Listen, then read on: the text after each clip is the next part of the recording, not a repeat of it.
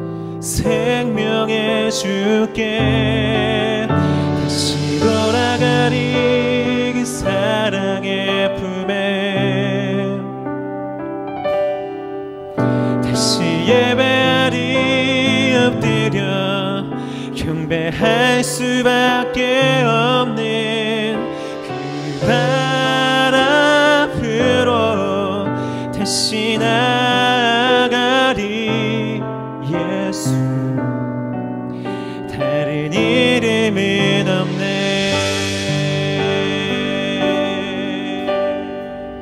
현실을 얻지 못하는 현실을 얻지 못하는 연약한 내 모습. 눈앞에 보이는 눈앞에 보이는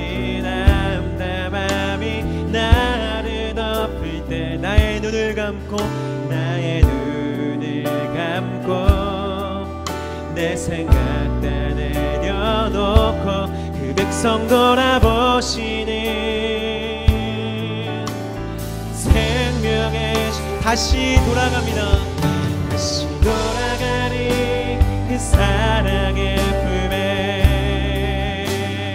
다시 예배하리. 다시 예배하리 수밖에 없는 그 발 앞으로 다시 나아가리 예수. 다른 이름이 다시 돌아갑니다. 다시 돌아가리.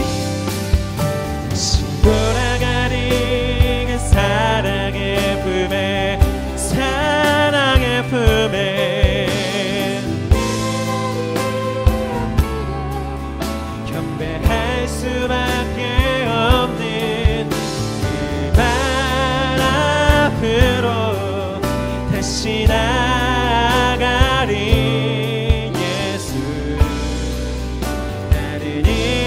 다시 한번 고백합니다. 현실을 넘지 못하는 현실을 넘지 못하니 연약한 내 모습. 눈앞에 보이는 암담함이 나를 덮을 때 나의 눈을 감고 내 생각 다 내려놓고 그 백성 돌아보시는 생명의 주께 다시 돌아갑니다.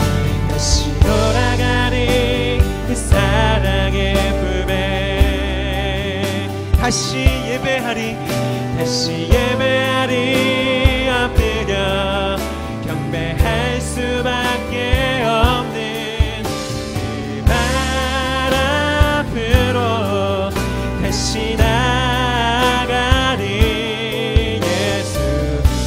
살 길은 예수 그리스도께로 다시 돌아갑니다. 다시 돌아가리. 할렐루야.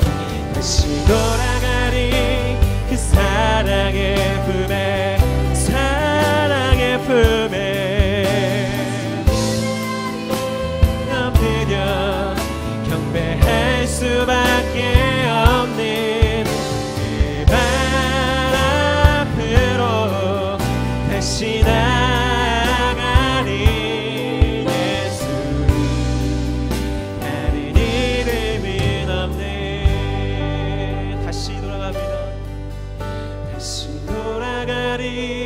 그 사랑의 품에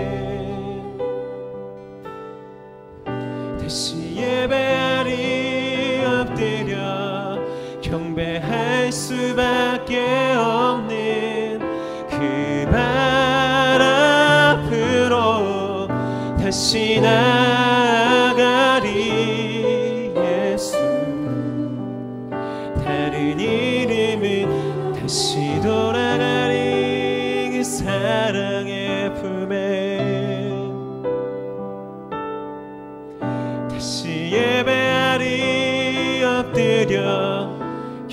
할 수밖에 없는 그 발 앞으로 다시 나가리 예수. 다른 이름은 없네.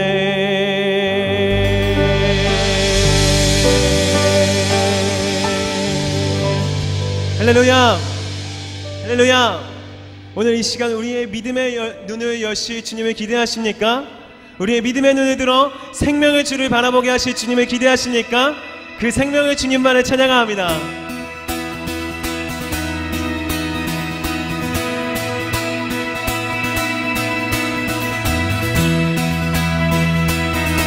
주님 오늘 이 시간 우리의 눈을 열어주십시오 내 맘의 눈을 여소서 내 맘의 눈을 여소서 내 맘의 눈을 열어 주보게 하소서. 주보게 하소서. 내 맘의 눈을 여소서. 내 맘의 눈을 여소서. 내 맘의 눈을 열어 주보게 하소서. 주보게 하소서. 내 맘의 눈을 내 맘의 눈을 내 맘의 눈을 열어 주보게 하소서. 주보게 하그 백성 돌아보시는 생명의 주를 보게 하소서. 내 맘의 눈을 여소서. 내 맘의 눈을 열어 주보게 하소서.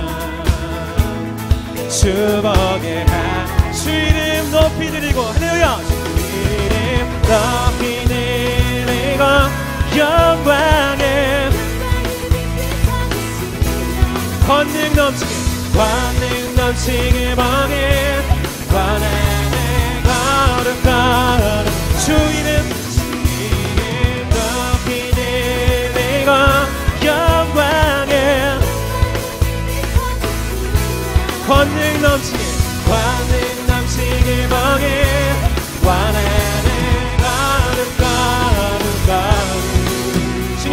광에 여소서. 내 맘에 여소서.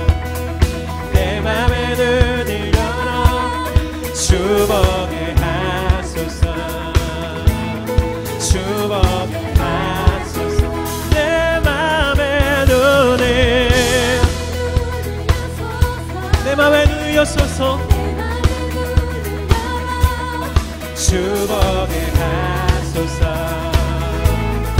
주복에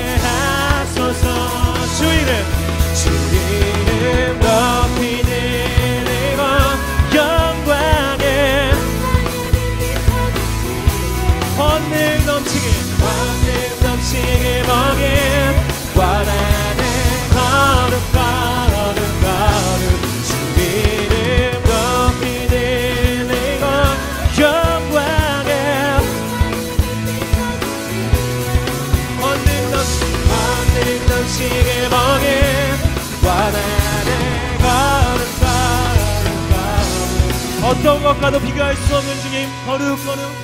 거룩 거룩 거룩. 거룩 거룩 거룩. 거룩 거룩 거룩. 주복에 하소서. 거룩 거룩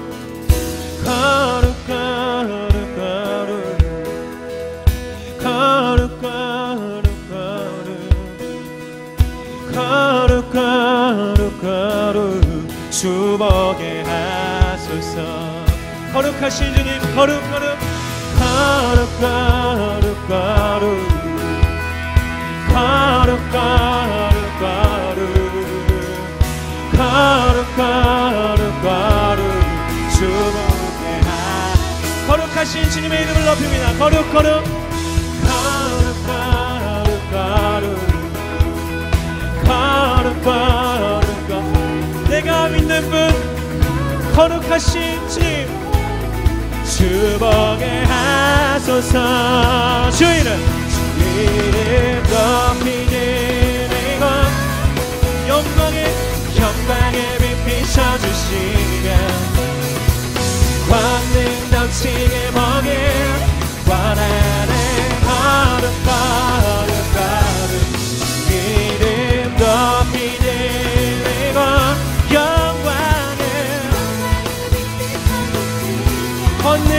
넘치게 권능 넘치게 원하는 거룩 거룩 거룩 내 맘에 눈을 여소서 내 맘에 눈을 열어 주복에 하소서 주복에 하소서. 내 맘에 눈을 여소서 내 맘에 눈을 여소서. 내 맘에 눈을 열어 주복에 하소서. 주복에 하소서. 우리의 삶의 영원한 삶의 이유 되신 주님 그 주님 우리의 힘 되십니다. 찬양합니다. 할렐루야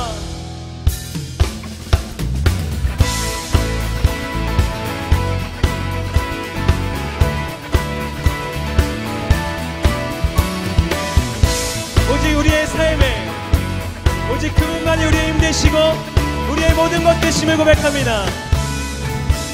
하늘 위에 주님밖에 하늘 위에 주님밖에.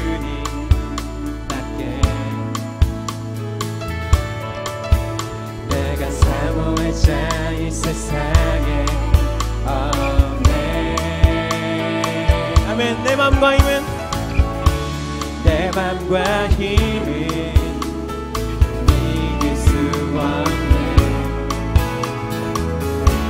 오직 한 가지 이시를 믿네 주는 나의 이리여. 주는 나의 이리여. 주는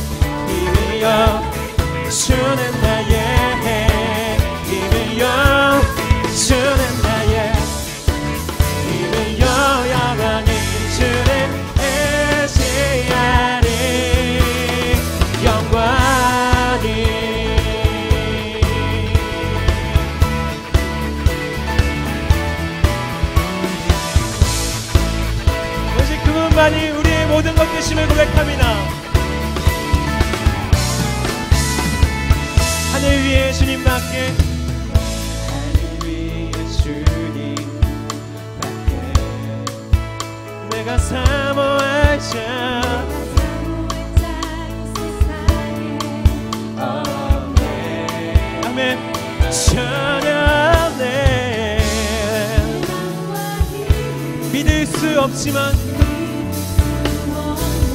오직 한 가지 오직 한 가지. 그 진리를 그 진리를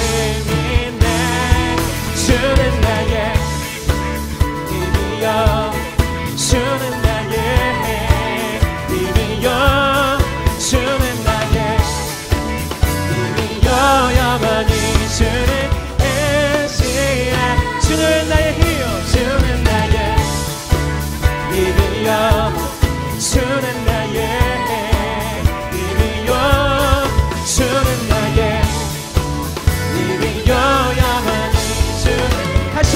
고백합니다. 주는 나의 힘이여 주는 나의 힘이여 주는 나의 이것이 진리입니다. 할렐루야. 주는 나의 힘이여 영원히 주를 의지야 주를 의지합니다. 주를 의지야 의지하리. 주를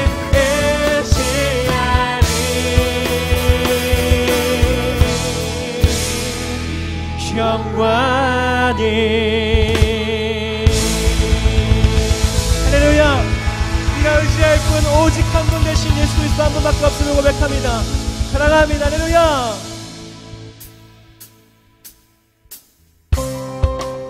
할렐루야. 할렐루야. 여러분 여러분 삶의 가장 큰 복은 바로 이것인 줄 믿습니다. 주께서 통치하시는 삶. 아멘. 주께서 통치하시고 다스리시는 삶 그 삶을 그 복된 삶을 누리길 소망하시면서 우리 같이 찬양할까요? 산과 시내와 붉은 노을과. 산과 시내와 붉은 너울과. 땅의 모든 것주 다스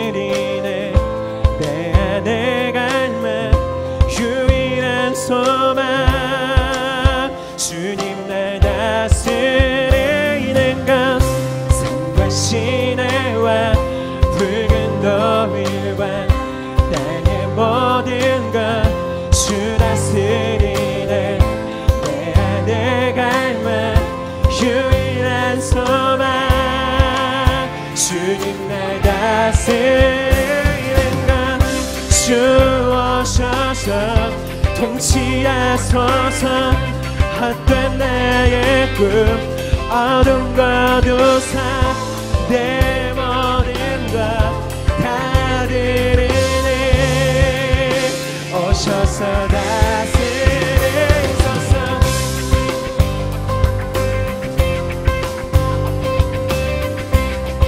그 복된 삶으로 초대하시는 주님. 생각을 넘어. 생각을 넘어. 모든 말보다 나의 생활이 말하게 하소서. 세상 그 어떤 것보다 소중한 내 주님 나를 그 생각을 넘어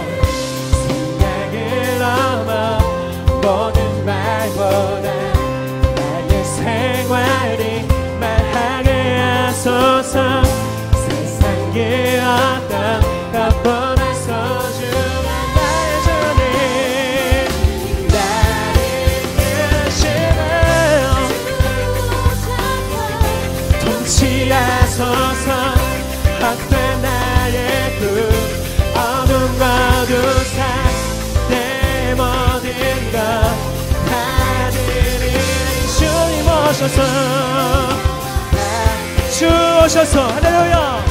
주 오셔서 통치하소서 헛된 나의 꿈 어둠 거두사 내 모든 것다 드리니. 오셔 주님 통치하여 주십시오. 주 오셔서 주 오셔서 통치하소서 헛된 나의 꿈 다시 한번 다시 한번 나의 주님.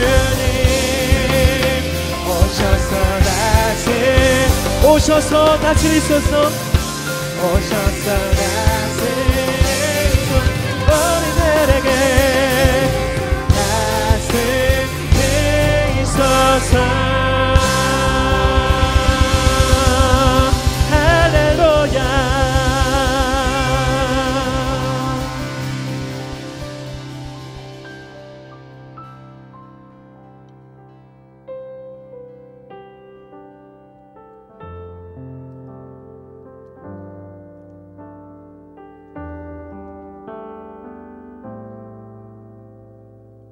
주님, 주님께서 다스리시는 삶이 우리의 각장 복된 삶인 줄 믿습니다. 그 삶 가운데서 하나님 우리의 노래, 우리의 간증이 이 고백이 되게 하여 주옵소서. 주님 한 분만이면 족합니다. 주님 한 분으로 한 분만으로 내 영혼 만족합니다. 그 고백 가운데 살아가게 하여 주옵소서. 주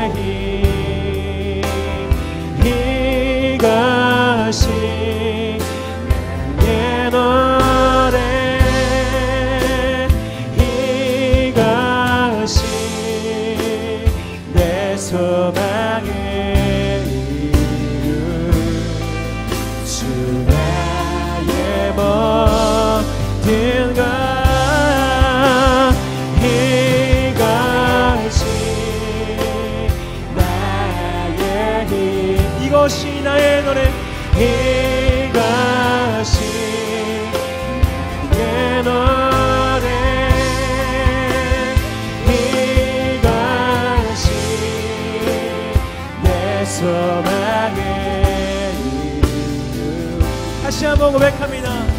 주님이 우리의 모든 것이니 이것이 우리의 노래입니다. 할렐루야.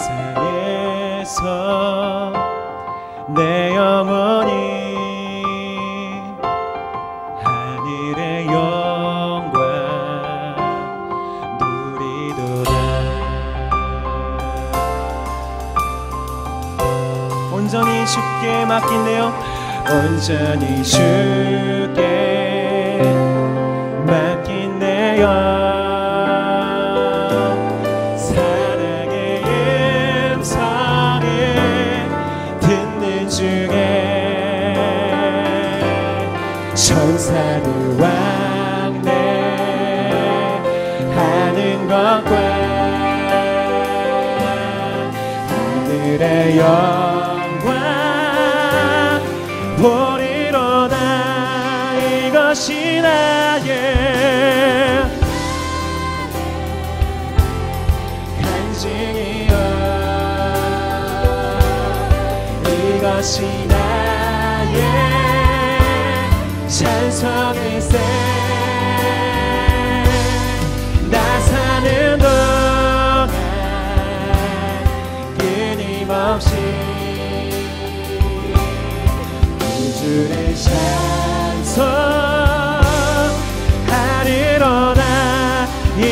다시 나에게.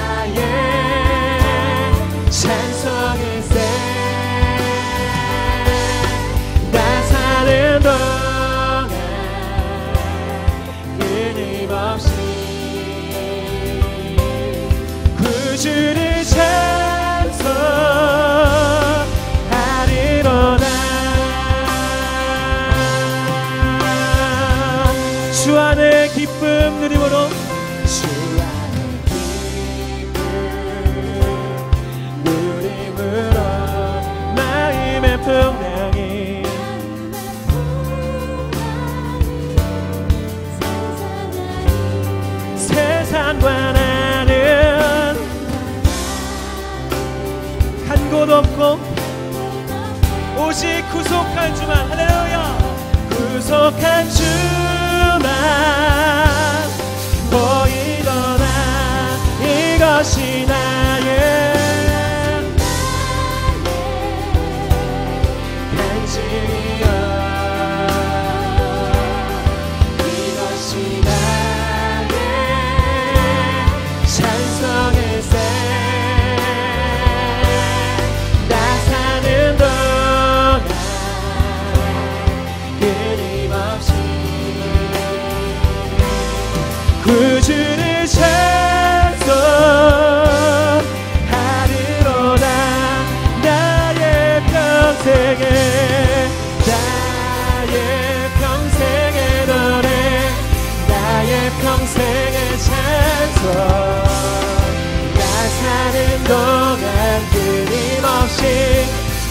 주를 찬송하리 나의 평생의 나의 평생의 노래 나의 평생의 찬송.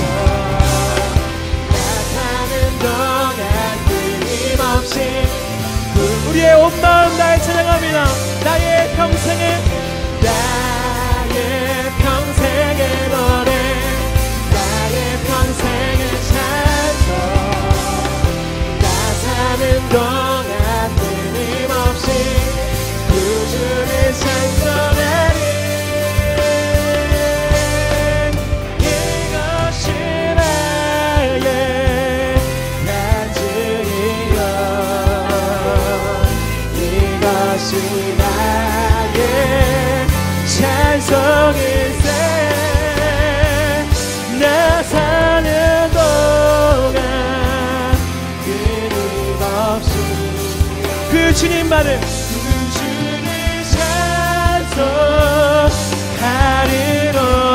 이것이 나의 간증이요. 이것이 나의 간증이 간증이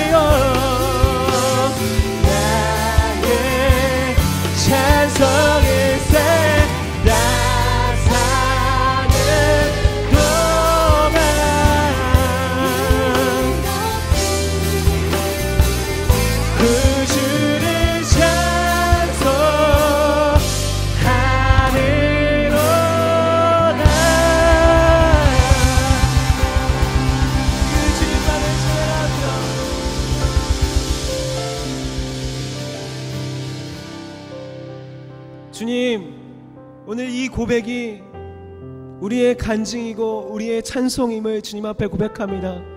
우리의 사는 날 동안 영원히 변치 않으시는 예수 그리스도 한 분만 바라보며 그분이 나의 왕 되시며 나의 목자 되시며 나의 삶에 끊임없이 개입하셔서 나를 인도하시는 주님이심을 끊임없이 고백하며 살아가는 그런 인생 되게 하여 주시옵소서. 오늘 이 시간 주의 말씀을 들을 때에 다시금 주를 보게 하실 주 예수 그리스도의 이름으로 기도드립니다. 아멘.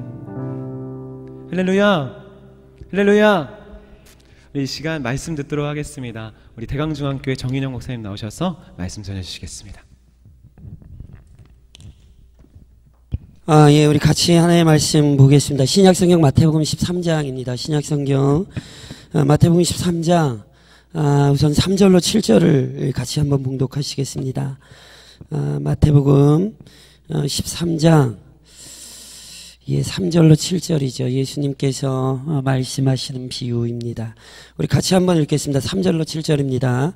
예수께서 비유로 여러 가지를 그들에게 말씀하여 이르시되 씨를 뿌리는 자가 뿌리러 나가서 뿌릴새 더러는 길가에 떨어짐에 새들이 와서 먹어버렸고 더러는 흙이 얕은 돌밭에 떨어짐에 흙이 깊지 아니하므로 곧 싹이 나오나 해가 돋은 위에 타서 뿌리가 없으므로 말랐고 더러는 가시 떨기 위에 떨어짐에 가시가 자라서 기운을 막았고 아, 22절입니다. 아, 22절도 저랑 좀 한번 읽어보시죠. 22절입니다. 가시떨기에 뿌려졌다는 것은 말씀을 들으나 세상의 염려와 재물의 유혹에 말씀이 막혀 결실하지 못하는 자요. 아멘. 아, 저랑 예수님께서 천국에 말, 천국에 대해 말씀하신 비유를 좀 같이 살펴보고 계시죠. 아, 천국은 먼 곳에 있지 않습니다. 우리 주님의 말씀이 심기어지는 곳에 천국은 시작됩니다. 이게 마태복음 13장에 나오는 천국 비유의 가장 중요한 내용입니다. 우리 주님이 씨 뿌리는 자에 비해서 누구를 설명하시냐면 자신의 사역을 설명하십니다. 우리 주님은요, 씨를 뿌리러 이 땅에 오신 분이에요. 즉, 말씀의 씨를 이 땅에 뿌리셔서 그 말씀의 씨로 말미암아 천국을 얻게 하신 분이 바로 우리 주님이십니다. 그러니까 천국은 죽어서 가는 곳이 아니라요, 이미 주님의 말씀 안에서 오늘 우리에게 경험되어지는 것입니다. 그러니까 이미 말씀드렸듯이 이 시대의 심각한 문제는 뭐냐면 죽어서 가는 천국을 잃어버렸어요. 근데 죽어서 가는 천국만 잃어버린 게 아니라 이 시대에서 누리니까 그러니까 오늘 이 땅에서 경험하는 천국도 잃어버린 거예요. 그러니까 기껏해야 천국이라는 게 돈 많은 곳, 쾌락이 느껴지는 곳, 이 따위 개념 밖에는 이 교회가 이 시대의 교회가 천국을 소유하고 있지 못한 거죠. 그러니까 성경이 가르치는 천국과는 전혀 다른 개념이거든요.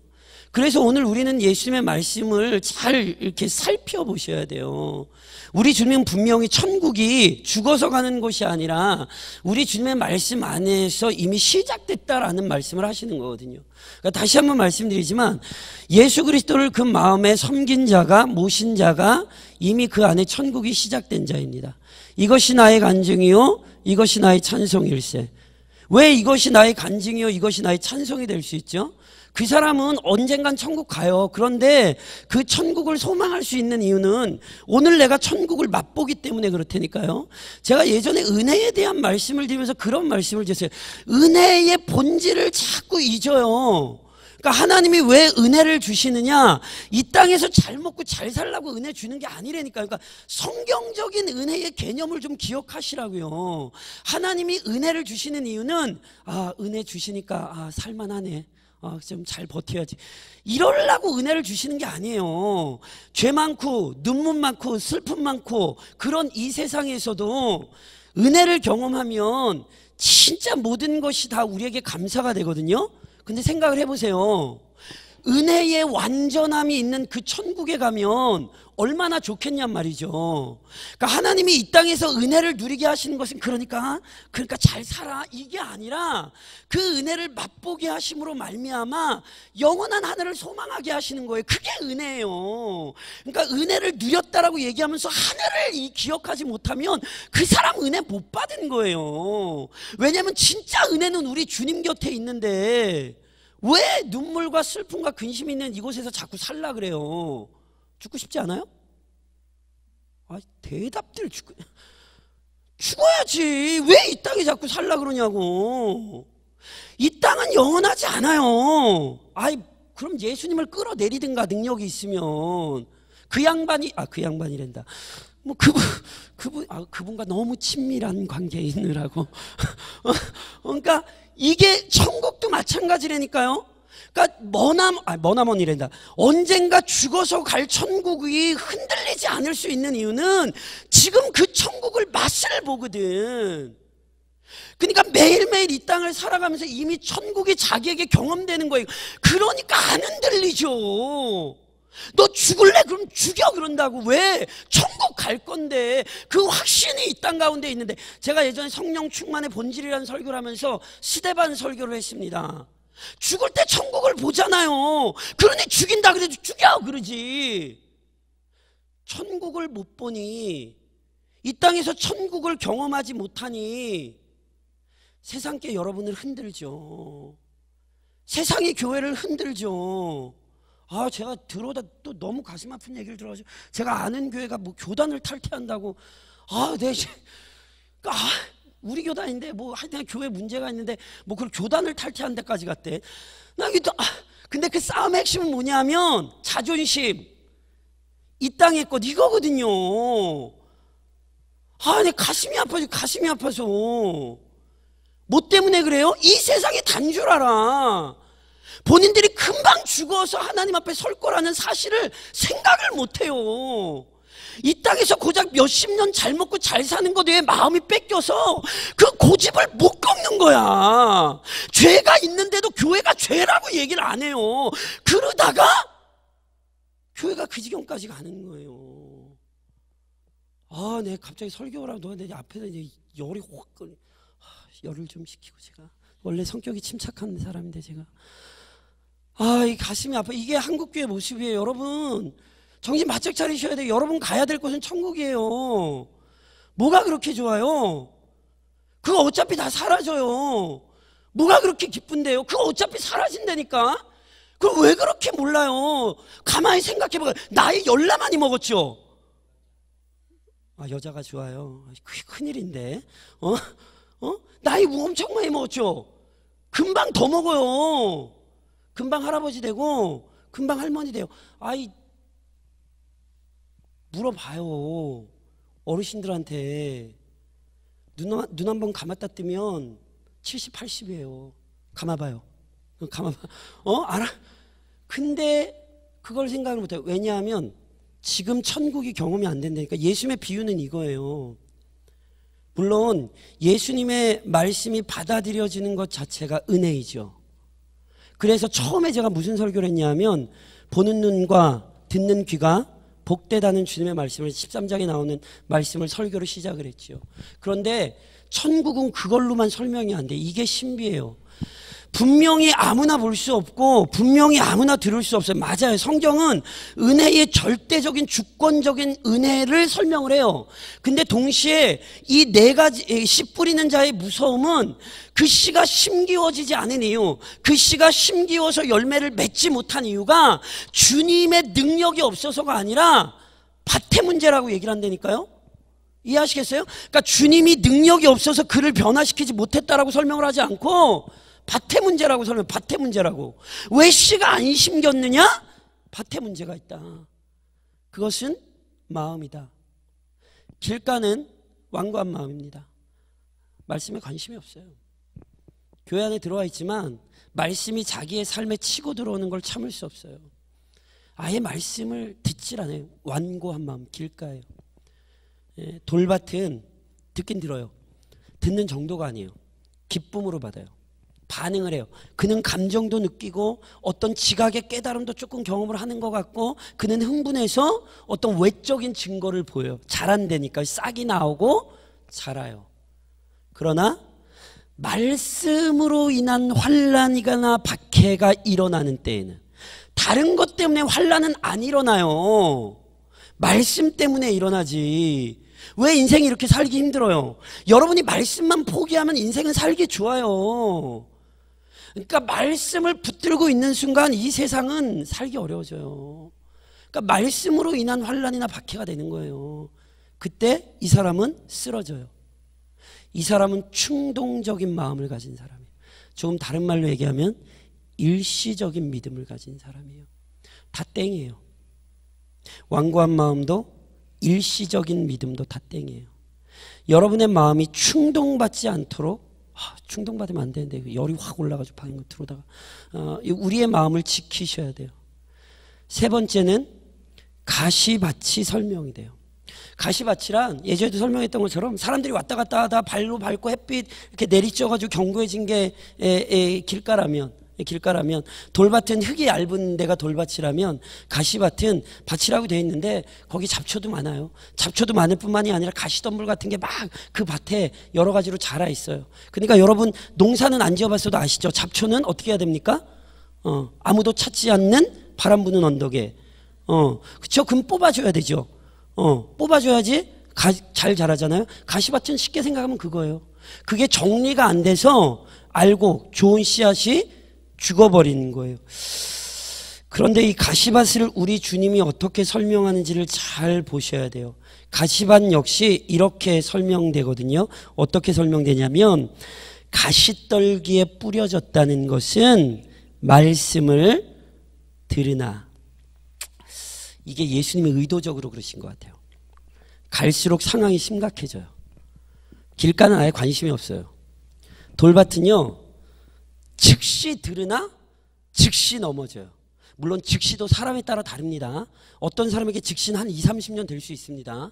어, 그냥 말 그대로 즉시라 그래지 뭐 하루 이틀이라고 생각하시면 안 돼요. 어떤 사람에게 즉시는 한 2, 30년도 될 수 있는 거예요. 어, 교회 안에 끝까지 믿지 않고 있다가 나중에 말년에 본색을 드러내는 거죠. 제가 이제 대마 말씀드렸죠. 사도 바울과 함께 선교 여행을 열심히 수행했으나 사도 바울의 최후의 서신 디모데 후서에 보면 대만은 세상을 사랑하여 나를 버리고 데살로니아로 갔고. 그러니까 어떤 사람에게 일시는 꽤 오랜 기간일 수 있어요. 가시밭은 더 끔찍해요. 말씀을 들으나라는 단어는 진행형입니다. 다시 말씀드리면 그 사람은 지금도 듣고 있어요. 이해하시겠어요? 제가 눈에 제가 계속 말씀드리죠. 이게 지금 세상 사람들이라고 생각을 하시면 여러분 큰 실수하는 거예요. 지금 이 밭은 교회를 의미해요. 교회에 완고한 놈이 있고요. 교회에 일시적인 사람들이 있어요. 교회에 꾸준히 앉아서 듣고 있어요. 말씀을 들으나. 아, 말씀을 듣는 것은 원래 굉장히 중요하거든요. 믿음은 들음에서 납니다. 그렇죠? 그래서 제가 누누이 말씀드린 것처럼 제 설교는 뭐 적고 자시고 그러지 마시고 들으세요. 들으세요. 어. 믿음은 들음에서 나요. 그 뭐 적은 거 보지도 않을 건데 본인도 알고 우리 모두도 아는데 거기에 목숨 걸지 마시고 들으면 되거든요. 그러니까 듣는 게 여러분 굉장히 중요합니다. 그래서 그때도 말씀드렸던 것처럼 분별하여 들으셔야 합니다. 왜냐하면 쉽게 설명하면 이런 거죠.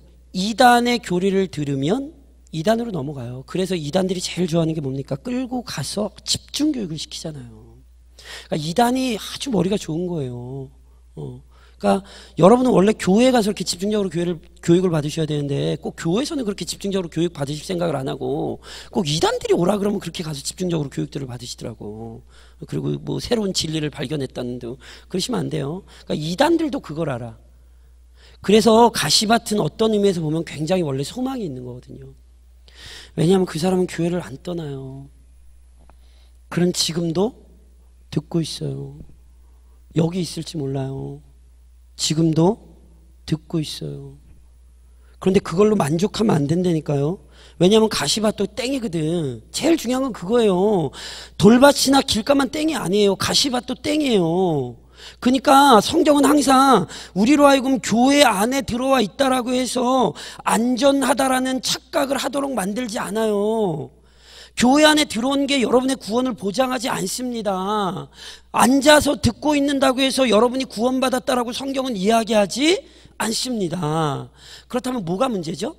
오늘 가시밭은 예수님께서 두 가지로 그 문제점을 지적을 하세요. 말씀을 들어요. 근데 말씀을 막는 게 있어요. 첫 번째는 세상의 염려. 두 번째는 재물의 유혹이에요.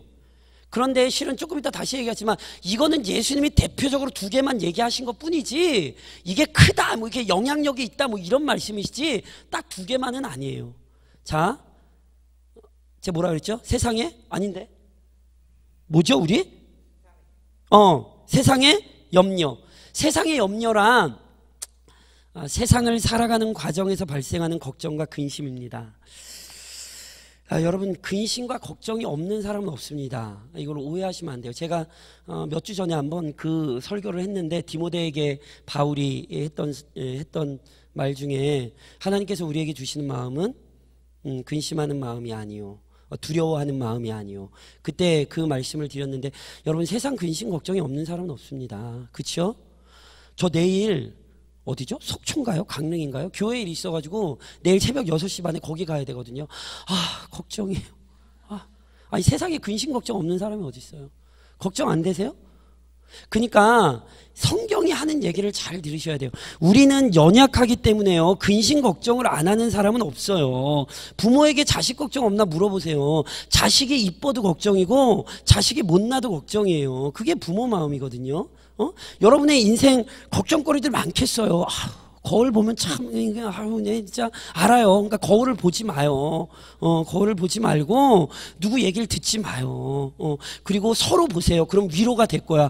아, 저런 애도 있는데. 그러니까 이렇게, 이렇게 위로를 얻어야지. 그러니까 세상에 근심 걱정이 없는 사람은 없어요. 여러분, 우리 주님이 십자가 앞에서 걱정하셨습니까? 걱정 안 하셨습니까? 아, 걱정하셨죠. 오죽하면 우리 주님이 핏방울이 아, 땀방울이 핏방울처럼 떨어지는 것처럼 기도를 하셨겠어요. 오죽 걱정과 근심에 사로잡히셨으면 그러니까 인간이라면 걱정과 근심이 없다라는 얘기가 아니에요. 문제는 이 사람의 삶은 걱정과 근심이 지배를 하고 있다라는 거예요. 말씀이 이 사람을 지배하고 있지 않아요. 말씀은 들어요. 그러나 한 번도 그 사람은 걱정과 근심에서 놓여진 적이 없어요. 하나님의 말씀이 그에게 위로가 되는 게 아니라 오히려 근심과 걱정이 그에게 친구처럼 여겨지는 거죠. 이런 상태를 얘기하는 거예요. 여러분, 재물의 유혹 역시 같은 원리거든요. 여러분 성경은 재물 자체를 어, 재물 자체를 악이라고 얘기는 하진 않습니다. 여러분 만약에 재물 자체가 악이라고 생각을 해보세요. 그러면 하나님이요 아브라함, 이삭, 야곱, 요셉 이런 사람들을 하나님이 재물의 복 주셨거든요, 실제로. 이삭은 한 해에 100배의 소출을 냈어요, 100배. 그러니까 100배의 소출을 내는 게 어느 정도인지 감이 안 되시죠. 뭐 농사를 져보신 적도 없고. 그러니까 100배의 소출하면 지금도 제가 봐선 그렇게 소출을 낼 수 있는 사람들이 없을 것 같아. 근데 한 해에 100배의 소출을 냈거든요, 순종할 때. 그러면 만일 이삭이 그렇게 한 해에 100배의 소출을 내, 는 게 악을 행한 거냔 말이에요. 그게 죄진 거냔 말이에요. 아니잖아요. 그것도, 그것도 주신 분이 누구야? 하나님이잖아요. 그러면 하나님이 나쁘신 분이 되잖아요. 그러니까 재물의 염려라는 말을 잘 이해하셔야 돼요. 재물 자체가 나쁘다는 게 아니에요. 그것을 우리 주님은 이렇게 말씀하셨어요. 아, 바울이, 아, 우리 주님이 하나님과 재물을 겸하여 섬길 수 없다라고 말씀을 하셨죠. 그러니까 그 사람은 이미 재물이 하나님이 돼 있는 거예요. 바울도 이렇게 얘기하잖아. 돈을 사랑함이 일만하게 뿌리가 되나니. 돈이 일만하게 뿌리라고 얘기하지 않았어요. 돈을 사랑함이 일만하게 뿌리가 되나니. 그러니까 실은 여러분이 오늘도 성실히 일하시면서 돈을 번 것 자체를 성경이 이렇게 정제시한다라고 생각하시면 안 돼요. 오히려 하나님께서 여러분에게 주신 일자리에서 계기면 그게 죄래니까요. 그러니까 성실하셔야 돼요. 직장에서 어, 직장 상사들 보기에 여러분 성실한 사람으로 비치셔야 되고 여러분 누가 여러분을 보든지 진짜 신실하게 사는 사람으로 그렇게 비치셔야 되는 거예요. 그게 돈의 혈안이 돼서 그런 게 아니라 아십니까? 하나님께서 여러분에게 물질 주셔야 여러분 먹고 살 수 있어요. 하나님이 여러분에게 물질 안 주셨어 봐요. 여러분 지금 가지고 있는 옷 누구 거예요? 시민단체가 갖다 준 거예요? 어? 어디서 뭐 쓰레기통에서 찾아 주셨어요? 아니잖아. 자매들 신상 찾으려고 얼마나 혈안이 돼서 돌아다녀. 조금이라도 싼 거 찾으려고. 어, 그렇잖아요. 어, 만약에 돈이 없다라고 생각을, 제가 기름값이 없다라고 생각을 해보십시오. 제가 오늘 여기 어떻게 왔겠어요? 저희 집에서 여기 못 걸어와요. 차라리 천국을 가고 말지. 어, 그러니까 여러분 교회에 돈이 필요 없다 이렇게 얘기하면 안 돼요. 제가 저희가 내일 이 선교 어, 저희 교회에서 선교 지원하는 것 때문에 제가 거기 찾아가는 거거든요. 여러분 정말로 교회에 돈이 필요할 때가 있어요. 어, 진짜로 돈 있으면 돈 좀 줘봐. 내일 내 성교 좀 저기 크게 하고 거기 저희가 꽤 오랫동안 지원했던 데 인도에 여섯 교회를 저희가 지원을 하는 일이 있어서 저희가 이제 내가 제가 내일 그것 때문에 가는데 아니 돈 있으면 인도에 여섯 교회만 하겠어요? 많이 했으면 좋겠어요. 그러니까 진짜로 돈 좀 많이 벌어서 영광스럽게 쓰시라고요. 문제는 재물의 염려래니까요. 이해하시겠어요? 그러니까 그 재물의 마음을 빼앗겨서 마치 그 재물이 다인 것처럼 생각을 하는 거예요. 돈이 있어야 살 수 있을 것과 같은 이런 마음의 근심과 걱정에 사로잡히는 거죠. 근데 중요한 건 이게 아니에요. 핵심이 뭔지를 기억을 해야 돼요. 이 사람의 마음이 잘 봐요. 예수님은 이 사람의 마음이 세상의 염려와 재물의 유혹에 의해 말씀이 이렇게 가려졌다라는 표현이요. 무슨 얘기냐면 기운을 막았으나 할 때 그 막았다는 게 뭐냐면 헬라어로 정확히 번역하면 목졸라 숨지게 했다는 거예요. 뭐가? 염려가. 재물에 대한 사랑이 말씀을 눌러버린 거예요. 이해하시겠어요? 그런데 그럴 수밖에 없는 이유가 뭔지 아십니까? 궁극적인 이유는 세상의 염려가 문제가 아니에요. 재물이 이 사람에겐 지금 문제가 아니에요. 이해하시겠어요? 제가 아까 얘기했죠? 이게 어떤 사람에겐 돈, 돈이 될 수 있지만 어떤 사람에겐 여자가 될 수 있어요. 형제들 중에 자매 때문에 좋은 신앙 버리는 형제들 전 청년부 오래 했지만 진짜 많이 봤어요. 자매들이 형제 잘못 만나가지고 믿음 이렇게, 이렇게 내팽개치는 경우 저는 정말 많이 봤어요. 제가 이름도 될 수 있어요. 어. 이름 대도 어차피 여러분은 모르잖아요. 그렇죠? 그러니까 아니 진짜라니까요. 그것만 그런가요? 진짜로 직장이 그의 하나님이 돼서 어, 진짜로 하나님과 같이 직장을 떠받드는 청년들 저 많이 만나봤어요. 그러니까 이게 지금 재물의 문제가 아니고 이게 지금 어떤 염려의 문제가 아니에요. 이 사람의 문제 뭔지 아십니까? 어, 이 사람의 문제는 하나님이 살아계시다라는 확신이 없어요. 조금 더 정확하게 얘기하면 하나님께서 자신을 돌보고 계시며 하나님께서 자신을 인도하고 계시다라는 사실에 대한 확신이 없어요. 이것은 이스라엘 백성들의 삶에서 잘 나타나요. 예전에도 광야를 한번 얘기했습니다. 여러분 광야가 뭘 보여주냐면 원래 광야는 살 수 없는 땅이에요. 그런데 광야에서 20, 그 이스라엘 백성이 40년을 살아남잖아요. 성경이 뭘 입증해내냐 하면 사람이 먹고 사는 게 해결된다고 해서 사는 에, 먹고 사는 것에 좌우되어 생명이 사라지지 않는다를 보여주는 게 광야라니까요. 먹고 사는 게 다 누구로부터 왔어요? 하나님으로부터 왔지. 그게 광야잖아요. 그게 입증해내는 거라니까. 광야는 어떤 곳이에요? 먹고 마실 것이 없는 곳이에요. 아 물론 이제 뭐 특수훈련을 받았으면 뱀 같은 거 잡아먹고 뭐 정갈 같은 거 잡아먹고 뭐 이런 모래 같은 거 밥해서 만들어 먹고 뭐 이러면 이런다면 뭐 상관 뭐 살아남을 수 있겠지만 광야는 먹을 게 없어서 살아남을 수가 없는 땅이에요. 얘기했죠. 만나가 왜 내려와요? 만나가 안 내려오면 살아남을 수가 없던 곳이에요. 그래서 40년간 그것도 매일 아침 내리는 거예요. 왜냐하면 없으면 살아남을 수가 없다니까. 그러니까 뭘 입증하냐면 먹고 마시는 것이 누구로부터 와요? 하나님으로부터 오더라. 이걸 입증하는 게 광야라니까요. 안 믿겨지죠? 광야 가봐요. 근데 지금은 안 내려와요. 그건 알고 가요. 그러니까 죽는 건 여러분 책임이다 분명히 얘기했어. 지금 만난 안 내려와요. 이 그게 이게 광야라니까. 근데 동시에 광야가 뭘 입증한다고요 그때? 먹고 마시는 게 해결됐죠. 근데 이스라엘의 믿음이 좋아졌어요? 민수기가 뭘 보여줍니까? 뻑하면 하나님 원망하고 뻑하면 모세 대적하고 뻑하면 애굽 돌아가겠다 그러고 딱 여러분 모습이죠. 아씨 예수 괜히 믿었어. 어?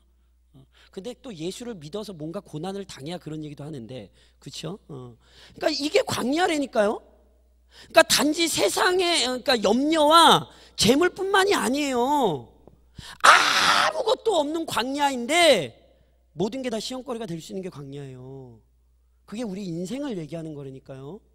그러니까 뭐가 흔들리는 거냐면 지금 하나님 살아계시고 그가 나를 인도하신다라는 사실이 흔들리는 거예요. 이 사람이 염려에 사로잡힐 수밖에 없는 이유는 이 사람이 돈에 목을 맬 수밖에 없는 이유는 그 마음에 하나님이 없어요. 가시떨기는 이걸 얘기하는 거예요. 어느 정도냐면 말씀을 듣고 있는데도 안 돼요. 1년, 2년 아니라니까 이 사람은 천재형이라니까 지금 듣고 있어. 근데 듣고 있는데도 말씀이 죽어버려. 왜요? 궁극적으로 그 말씀의 주인이신 하나님이 그 마음을 지배하지 못한다니까요. 여러분 이런 의미에서 이스라엘의 삶을 좀 잘 보셔야 돼요. 이스라엘 백성들이 가나안 땅에 들어갔잖아요. 상식적으로 생각하면 잘 먹고 잘 살아야죠. 얼마나 고생해서 가나안 땅을 들어갔냔 말이에요. 근데 아시잖아요. 이스라엘은 가나안 땅 들어서 잘 먹고 잘 살지 않았어요. 사사기 아 심히 괴롭지요. 왕 세워져선 좀 낫나요? 왕 세워지자마자 나라가 두 쪽이 나요. 아십니까? 왕 몇 번째 왕까지 갔을 때 사울 왕 첫 번째 왕, 두 번째 다윗 왕, 세 번째 솔로몬아. 그리고는 두 개로 나라가 나눠져요. 하나의 백성 하나의 한 민족이라고 했던 사람들이 서로 등을 지고 갈라서요. 그리고는 북이스라엘은 아시리아에 의해 남유다는 바벨론에 의해 가나안 땅에서 멸망했다니까요. 이해하시겠어요? 절대 잊으시면 안 돼요. 가나안 땅에서 멸망했어요. 딴 데서 멸망하지 않았어요. 왜 멸망했어요? 항상 핵심은 하나예요. 우상숭배예요. 그렇죠? 나오는 선지자마다 우상숭배했다 그랬고 어, 열왕기상하 이런 데 보십시오. 이스라엘 백성의 실패의 원인은 하나님을 떠나 우상을 숭배한 거예요. 그러니까 핵심은 이거예요. 근데 그 우상은 다시 한번 말씀 우상은 눈에 보이는 만드는 거 이것만 생각하시면 안 된다니까. 모든 게 다 우상이에요. 우리에게 하나님 외에 모든 게 다 우상이에요. 그게 이스라엘 백성에게는 바알, 아세라 이런 걸로 나타나죠. 근데 바알, 아세라 이런 건 멀리 있는 게 아니라니까요. 가나안 땅에 들어가서 농사를 짓고 살아야 되잖아요. 그렇죠? 그런데 바알, 아세라, 아스다롯 이런 신들은 다 농사와 관련된 신이에요.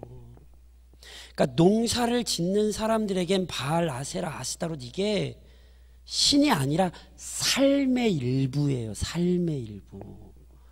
쉽게 설명드릴까요? 이 시대 청년들의 삶의 일부 뭐예요? 스펙이죠. 어, 요즘 스펙에 성형도 들어간다며요. 어, 전 놀랬네요. 난 스펙에 성형까지 들어가는지 몰랐네요. 하, 여러분은 포기하셔야 돼요. 어차피 돈 들여도 제가 봐서는 돈 들여도 소망이 없어. 어? 돈을 들여서 뭔가 소망이 있는 사람들도 성형이야 하는 거지. 그러니까 여러분 정말 예수 잘 믿었어. 어, 여러분은 진짜 예수 믿기 잘했지. 난 전 정말 깜짝 요즘 스펙에 성형도 들어간다며요. 근데 그게 이 시대의 삶의 모습이잖아요. 그게 바알이라니까요. 그렇게 말하는 대학 졸업장, 토익 몇 점. 오해하지 마십시오. 그런 것이 다 잘못됐다는 얘기 말씀드린 거 아닙니다. 여러분 공부 열심히 하지 말란 얘기 아니고, 어, 여러분 보고 막 살란 얘기 아닙니다. 그것만이, 그게 있어야 내 인생이 살 수 있다라는 착각에 빠지는 것을 얘기하는 것입니다. 이스라엘도 그러했습니다. 우상은 먼 곳에 있는 것이 아니라 우상은 바로 우리의 삶에서 우리와 함께 살아가고 있어요. 그래서 여러분의 삶을 잘 점검하셔야 된다니까요. 제가 예전에도 한번 그 말씀 드렸잖아요. 저는 한국 드라마를 좀 주의하셨으면 좋겠어요. 막장 막장 그러면서도 다 보잖아요. 그래요, 안 그래요? 왜 보죠? 제가 예전에 여기서 그 얘기를 했나? 안 했나? 모르겠다. 우리나라에 우리나라에 광고 업계에 아주 큰 거물이 있어요. 제 누구라고는 말씀 안 드리겠어요. 그러니까 여러분이 한국 사회에 유행했던 거의 대부분의 광고는 그 양반 손을 거쳐 나온 거거든요. 근데 그 양반이 한 번 강의를 할 때 이런 얘기를 했어요. 사람들이 착각을 하고 있는 게 있다. 마치 광고가 시대를 선도한다라고 생각을 한다고. 자기는 그렇지 않대요. 자기는 시대를 선도한 적 없대요. 자기는 그 시대 사람들이 생각하는 걸 그냥 보여줬대요. 그러니까 열광하더라는 거예요. 아, 저는 그 양반 말씀 듣고 참 이미 사람들 마음 안에 있는 욕망을 광고가 표출을 한 거예요. 광고가 나와서 사람들이 그걸 따라가는 게 아니라 이미 그 안에 있던 게 뭔지를 표출을 해주니까 기뻐 따라가는 거죠. 왜 이 시대의 한국 사회가 막장 드라마에 이렇게 환호를 하죠? 마음이 막장이거든요. 어? 우리 자매들 다 신데렐라와 같은 꿈을 꾸잖아. 어? 어디 백마탄 왕자 없나 이렇게 찾고 있잖아. 그렇죠? 어, 그래서 어느 날 갑자기 뭐 이사님이 자기를 찾아 뭐 하여튼 이런 말같이 근데 이게 다 있거든. 자매들 그런 생각해요? 어느 날 같이 어느 날 갑자기 나에게 다윗과 같은 신앙의 남자가 찾아와 결혼합시다. 절대 여러분 결혼 안 한다. 다윗과 같은 믿음의 남자가 서 여러분 안에서 나랑 결혼 여러분 절대 결혼 안 해요. 왜요? 다윗은 젊을 때 그렇게 잘나 보이지 않았거든. 아십니까? 여러분 어떤 멋진 남자가 와서 나랑 결혼합시다. 다니엘이었다고 생각을 해봐. 그 양반이 기도하다가 사작을 끌려간다고 생각을 해 봐. 여러분 심정 어떠시겠어요?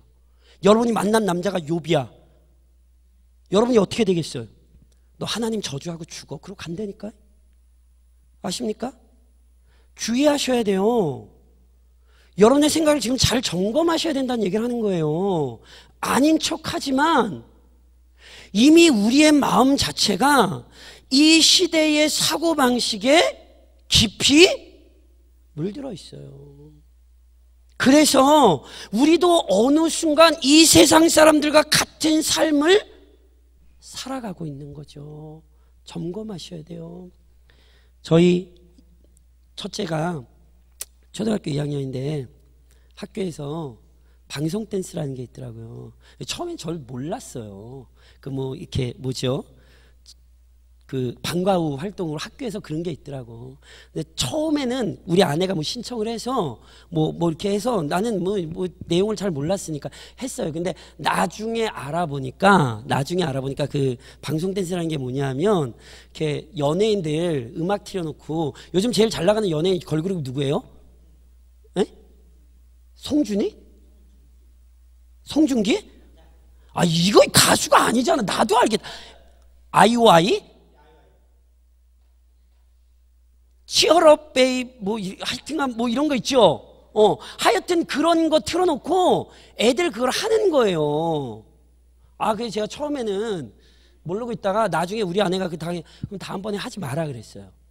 그래서 다음번에 안 했어요. 우리 딸 삐진 거야. 왜냐하면 딴 애들은 다 그거 끝나고 그거, 그거 해가지고 그걸 가는데 그 그 반 애들은 다 그걸 하는 여자들은 다 하는데 물론 남자들은 안 하면 여자들은 다 그걸 하는데 자기는 못하게 하니까 못하게 이렇게 엄마가 그 그대가 안 해가지고 했더니 아마 학교에 와서 삐져가지고 집에 와서 삐져가지고 엄마한테 막 뭐라 그랬던 것 같아. 어, 엄마한테 막 삐져가지고 그래서 제가 그 얘기를 듣고는 밤에 이렇게 우리 딸 이렇게 불렀어요. 이렇게 불러서 앉혀놓고 제가 우리 딸한테 그랬어요. 이래야 이 아빠는 이래가 이 세상 사람들이랑 동일하게 사는 걸 원치 않아. 그건 하나님이 원치 않아. 아빠가 방송 댄스를 하지 말라 그랬던 건 그건 세상 사람들이나 즐기는 거기 때문에 그래서 아빠가 하지 말라는 거야. 아빠는 우리 이래가 하나님 사람이기 때문에 구별됐으면 좋겠어. 네, 우리 딸에게 그렇게 얘기를 했어요. 며칠 뒤에 가정 예배 드리다가 또 다시 우리 딸에게 확인을 했어요. 주일 전날 그때 토요일인데 내일 주일이고 이렇게 얘기하면서 이래야 그래서 아빠가 이래 못하게 한 거니까 꼭 기억해야 된다고. 너는 거룩한 사람이라고. 너는 구별된 사람이라고. 오해하지 마십시오. 제가 예전에도 얘기했던 것처럼 믿음의 연예인들 나오셔야 돼요. 왜냐하면 이 시대의 문화가 너무 타락했기 때문에 그래요. 그런데 우리 딸은 아직 분별력이 없어요 얘는 아직 그것 분별할 능력과 실력이 안 돼요. 기타 잘 치셔야 돼요. 드럼 잘 치셔야 돼요. 싱어가 어디서 못 보던 자매가 또 하나 나, 나왔대요. 어디서 또 하나 또 영입을 하셨나 봐요. 어. 아, 나를 좀 싱어로 해주면 돼. 어? 그러면 죄송합니다. 너무 그렇게 비웃으면 안 돼요. 어? 나름대로 그래도 좋은 목소리인데 왜? 어, 우리 간사님 너무 비웃는다. 어, 그, 어, 그러니까 아, 내 뭔 얘기하다. 그러니까 음악적인 탁월함으로 하나님께 영광 돌리시는 게 얼마나 많은데요. 그런데 우리 딸은 지금 그게 안 돼요. 그러니까 부모로서 막아주는 거예요. 막아줄 수 있는 데까지.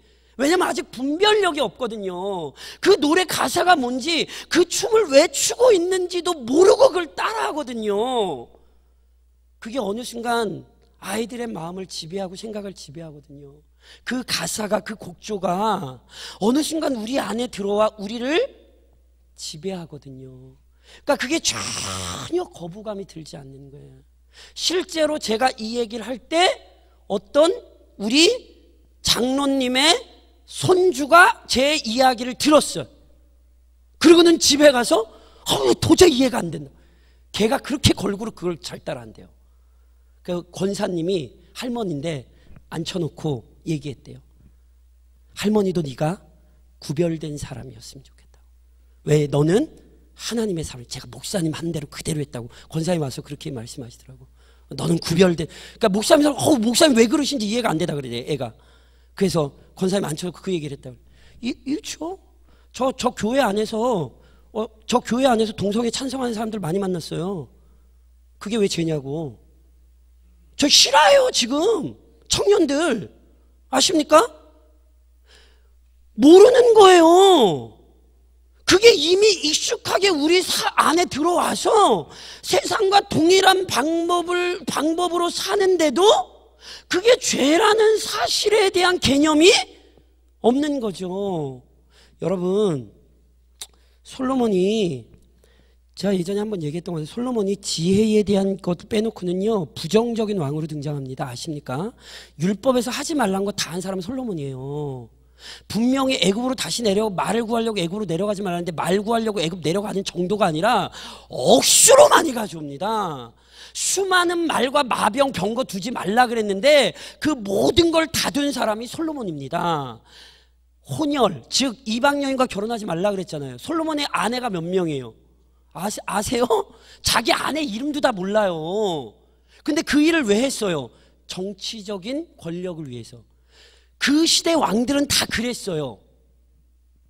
솔로몬이 대단한 일 한 거 아니에요, 실은. 그 시대 왕들은 다 그렇게 살았어요. 그러니까 솔로몬도 나름 할 얘기가 있어요. 어떻게? 왕들은 원래. 이해 하시겠어요? 그 시대의 왕들은 다 그렇게 했어요. 하나님은 그걸 하지 말라 그랬던 거예요. 왜? 너희는 거룩한 백성이니까. 너희는 말과 병거를 의지하는 사람들이 아니라 하나님을 의지하는 사람이니까. 너희는 정략 결혼을 의지하는 사람들이 아니라 너희는 신실하게 하나님을 의지하는 사람이니까. 그게 솔로몬을 무너뜨렸다는 사실 아십니까? 솔로몬의 얘기가 끔찍해요. 하나님이 두 번 나타나서 말씀하셨어요. 두 번 나타나서 말씀하셨다는 게 진짜 두 번 나타났다는 의미가 아니라 명확히 경고하셨다는 거예요. 너 그러지 마. 근데 솔로몬이 어떻게 했어요? 무시했어요. 대단하죠.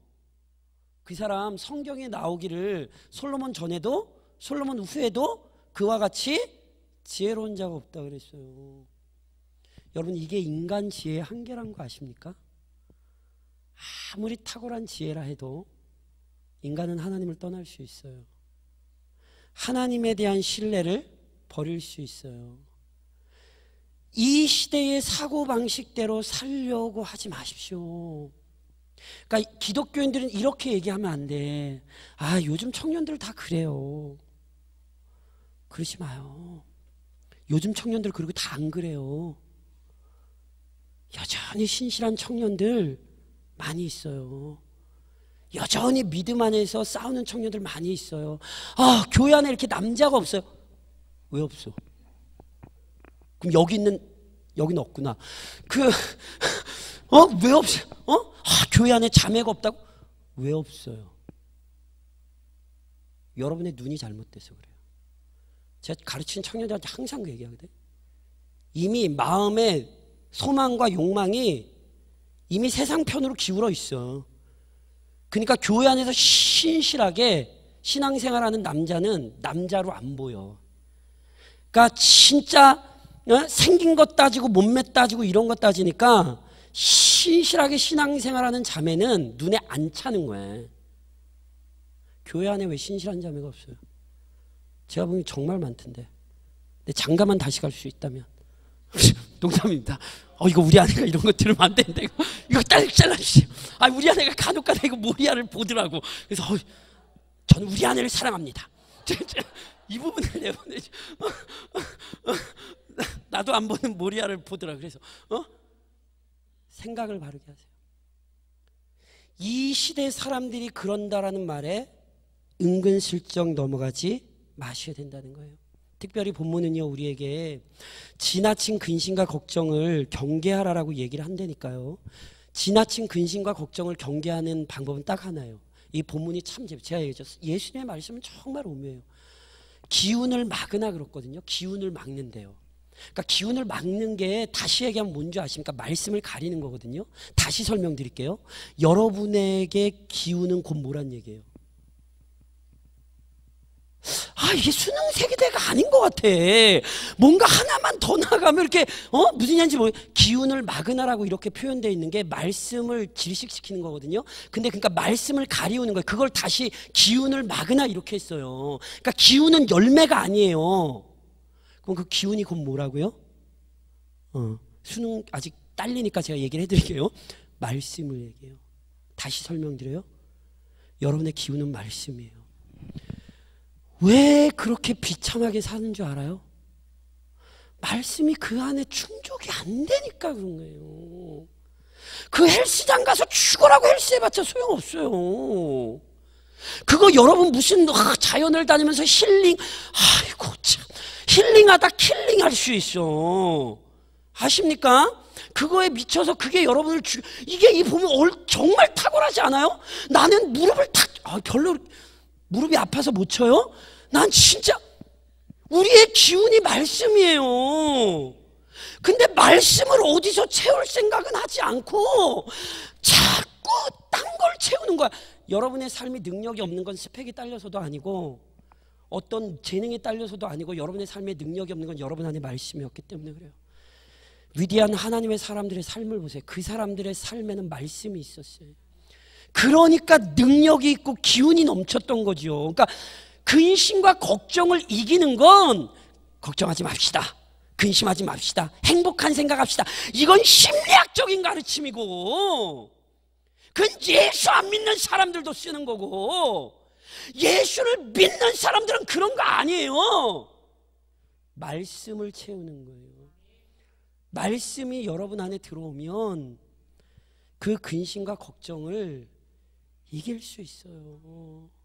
그런데 말씀이 없으니까 마치 자꾸 다른 게 여러분을 죽일 것 같은 거예요. 그리고 자족하는 법을 좀 배우셔야 돼요. 성경은 끊임없이 자, 바울이 이런 얘기했죠. 자족하는 마음이 있으면 경건은 큰 이익이 되느니라. 여러분 자족한다는 게요. 스스로 만족한다 단순히 이렇게 생각하시면 안 돼요. 그러니까 우리 있는 걸로 그냥 만족하고 삽시다. 무소유 뭐 이런 얘기 아니에요. 왜 자족하죠? 핵심은 이거라니까. 아까 얘기했죠. 세상의 염려, 재물의 유혹 이거 눌리는 핵심은 하나님이 그 안에 없기 때문이거든. 그러니까 성경적인 자족의 의미는 내가 있는 것으로 만족한다 이런 의미가 아니에요. 정확히 얘기하면 하나님이 지금 나에게 주신 것이기에 그것으로 감사하는 게 자족이에요. 이해하시겠어요? 그러니까 하나님께서 여러분의 삶을 철저히 통제하고 계신 거죠. 어?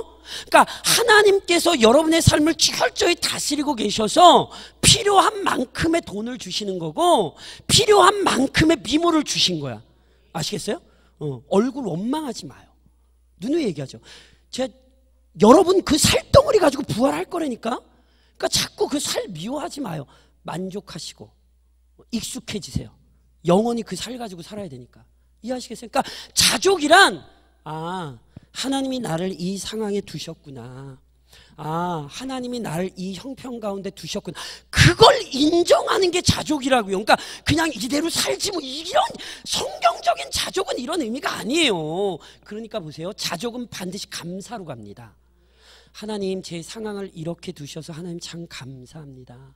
비록 어, 남들이 보기에 비참해 보일지 모르지만 그러나 하나님 두신 상황이니까 하나님 주신 것이니까 거기에 하나님의 뜻이 있음을 아니까 하나님 감사합니다. 제가 이제 저희 교회에서 어제 설교를 하면서 제가 회복으로 회복으로 가는 길이라는 시리즈 설교를 어제 저희 설, 그 교회에서 했는데 여러분 꿈꾼다는 단어를 이 시대가 참 좋아하는 것 같아요. 꿈꾼다는 단어. 근데 그 꿈꾼다라는 단어를 성경적으로 좀 이해를 좀 하시면 좋을 것 같아. 뭐 2002년 월드컵 꿈은 이루어진다. 아, 이 따위 말고. 어? 실은 꿈꾼다라는 건 성경이 나와요. 누구 얘기에서 제일 잘 나오냐면 요셉에게서 제일 잘 나와요. 여러분, 형들이요, 요셉을 팔려고 작정할 때 요셉이 오잖아요. 그때 요셉을 보고 뭐라고 얘기한지 혹시 아세요? 저, 그쵸. 저기, 어, 이 청년 참 반듯하네. 꿈꾸는 자가 오는도다. 또 뭐라고 얘기한지 알아요? 우리가 그를 죽여? 그 꿈이 어떻게 되는가 보리로다. 형들은 착각이 있어요. 그 꿈이 요셉이 그냥 생각하는 거라고 생각을 했어. 근데 요셉의 꿈은 요셉이 꾸고 싶어서 꾼 꿈 아니라는 거 아시죠? 요셉의 꿈은 하나님의 계획이었거든요. 여러분 하나님의 계획에는 항상 반대하는 사람들이 있어요. 형들은 자신들도 모르는 사이에 요셉을 미워한 정도가 아니라 하나님이 이루시려는 거대한 계획을 반대하고 있었던 거야. 그래서 그 꿈이 어떻게 되는가 보자. 아주 교만한 마음이었죠. 몰라서 눈이 가리워져서. 여러분 하나님은요 여러분을 통해 지금 꿈꾸고 계세요. 그러니까 2002년 월드컵이 꿈은 이루어진다 이따위 이런 심리학적인 표 말고 성경이 얘기하는 걸 보시란 말이에요. 그리고 그 꿈은요 아무도 못 없앴어요. 그 꿈이 이루어지는 가운데에 참 힘겨움이 많았지만 그러나 그 꿈을 막을 수 있는 것은 아무것도 없었어요. 그런 의미에서 꿈꾸는 자가. 어. 자족하면서 하나님께서 주신 그 모든 것들에 감사하며 언젠가 여러분을 통해 하나님이 이루실 것들을 기대하십시오. 그게 여러분이셔야 돼요. 그러니까 세상 사람들이 다 소망하는 것 같고 같이 제발 좀 소망하지 말고 아시겠습니까?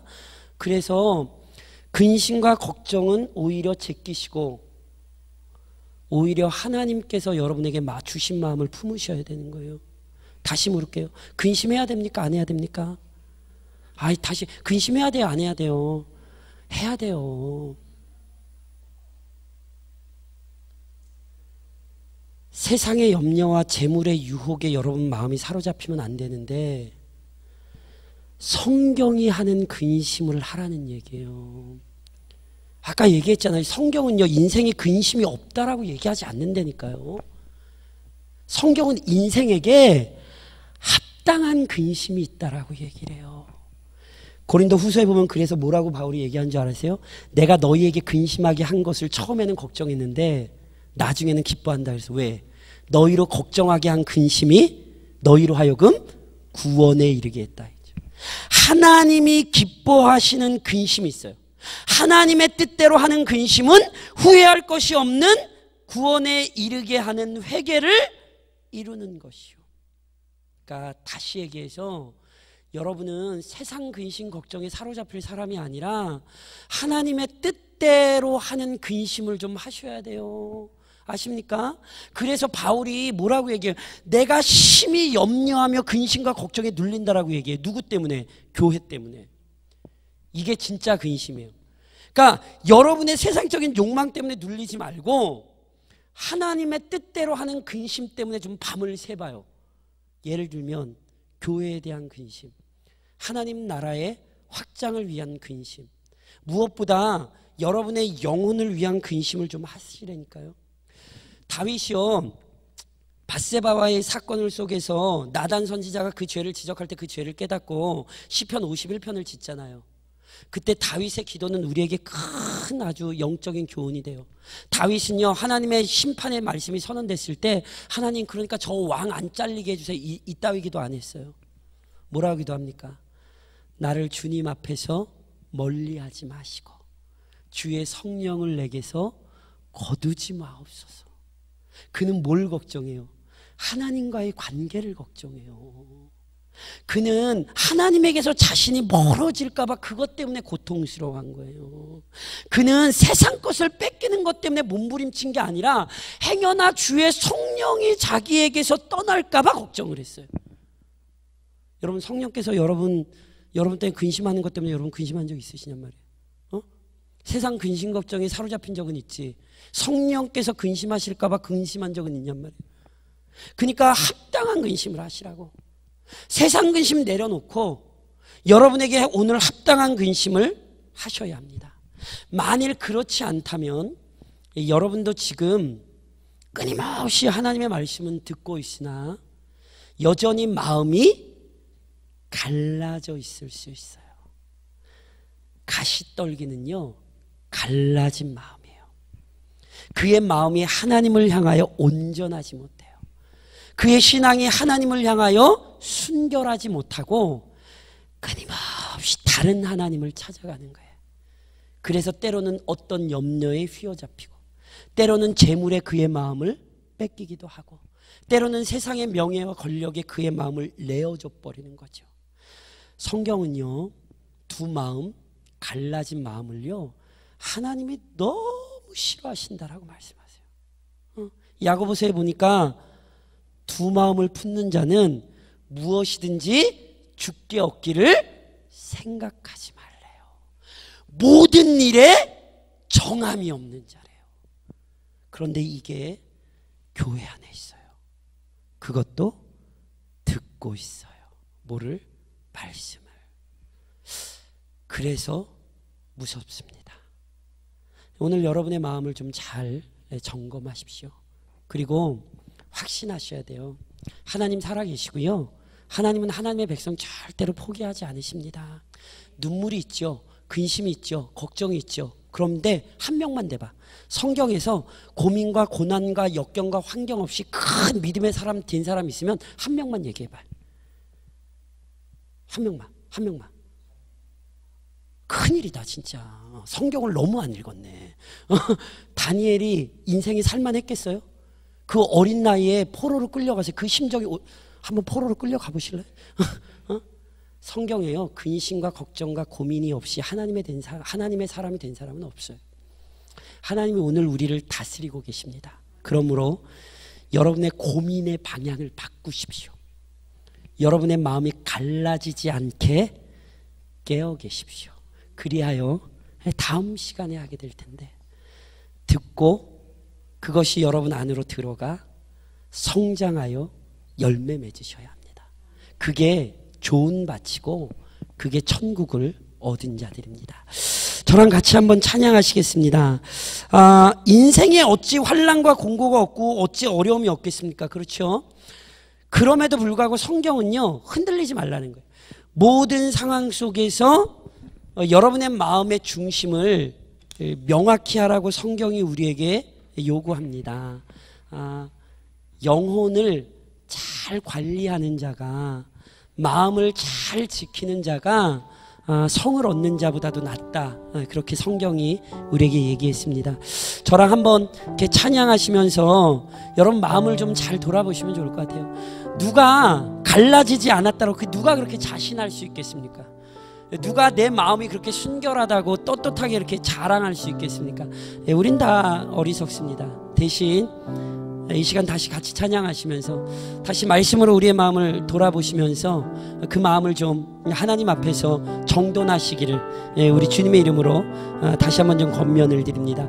우리 같이 한번 찬양하겠습니다. 예, 모든 상황 속에서 모든 상황 속에서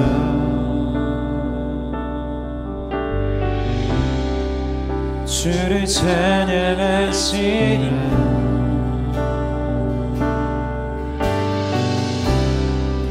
주는 너의 큰 상을.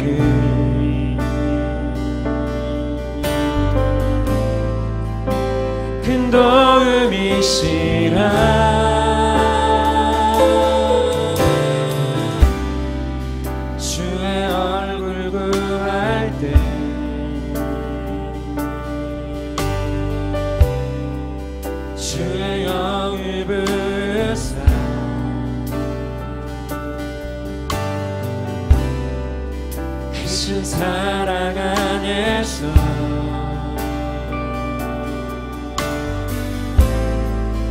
주를 보게 하소서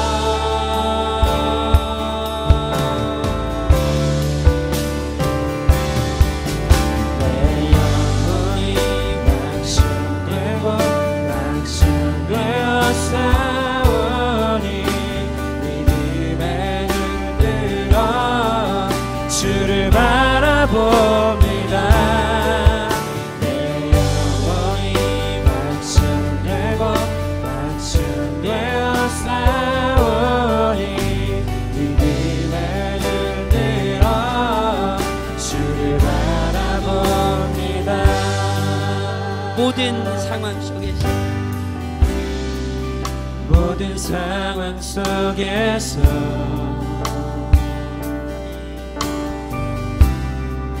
주를 찬양할 시간 주는 너의 큰 삶이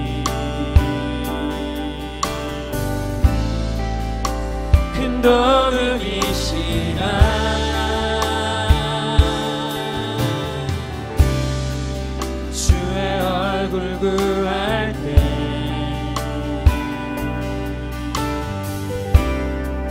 주의 영을 부으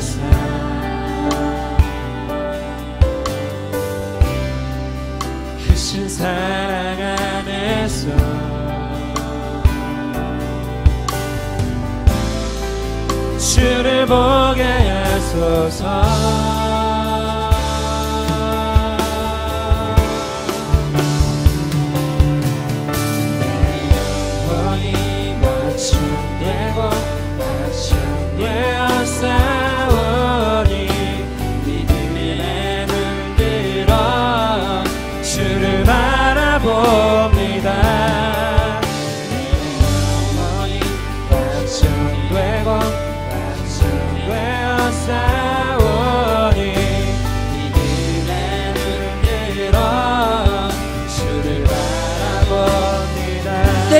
확정되고 확정되어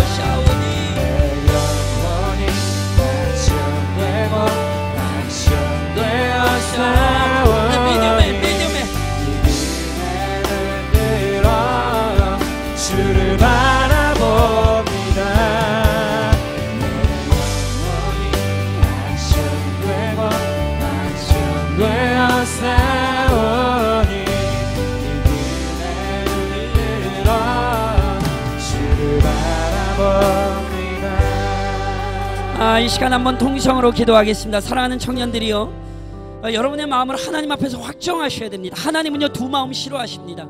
여러분의 마음이 갈라지지 않도록 깨어 계십시오. 말씀은 들으나 세상의 염려와 재물에 대한 사랑, 이 세상에 대한 근심과 걱정, 이 세상에 대한 욕망이 그 말씀을 질식시키지 못하도록 깨어 계셔야 합니다.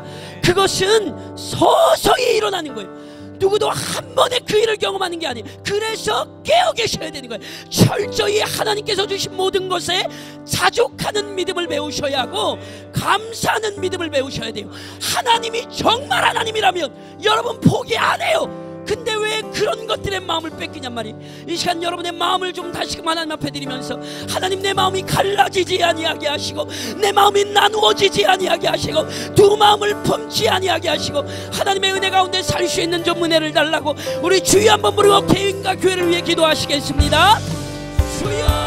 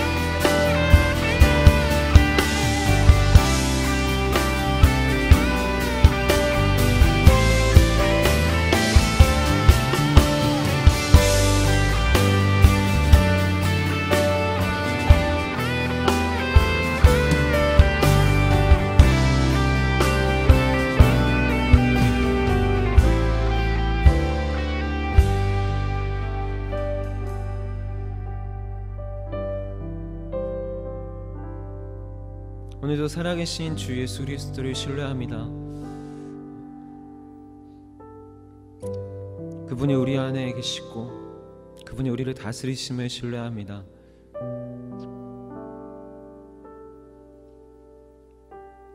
성령 충만하게 하셔서 우리의 염려가 세상으로부터 이제 하나님의 뜻에 합당한 근심으로 다시 돌아가는 믿음의 사람들이 될 수 있도록 아버지 우리를 붙잡아 주시고 인도하여 주옵소서.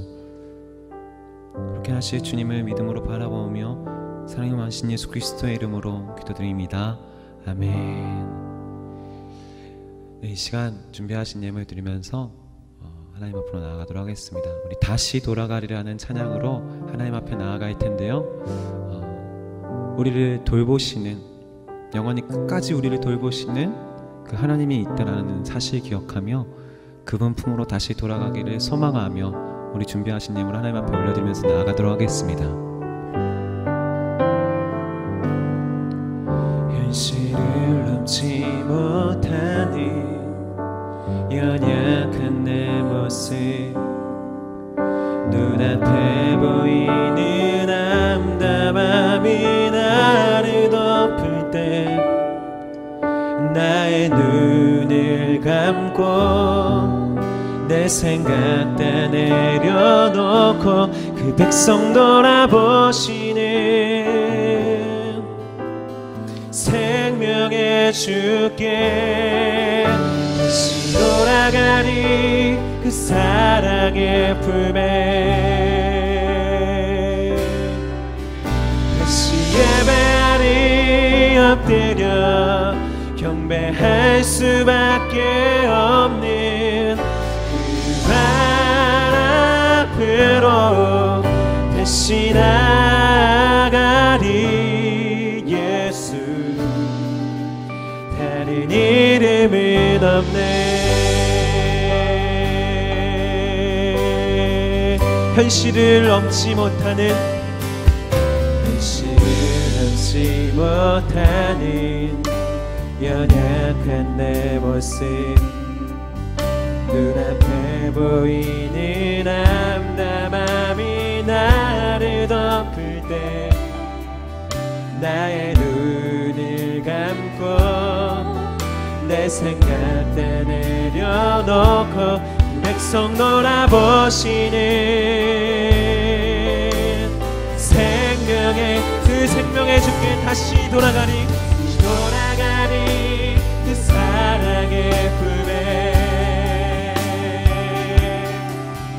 다시 예배하리 엎드려 경배할 수밖에 없는 그발 앞으로 다시 나가리 예수 나는 이 다시 돌아갑니다 다시 돌아가리 할렐루야 다시 돌아가리 그 사랑의 품에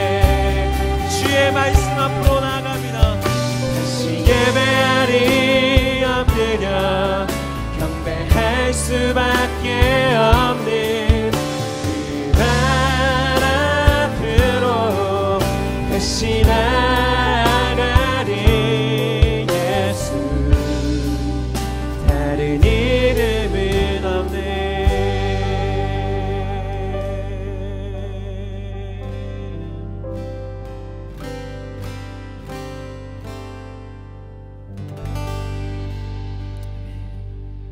광고 시간입니다.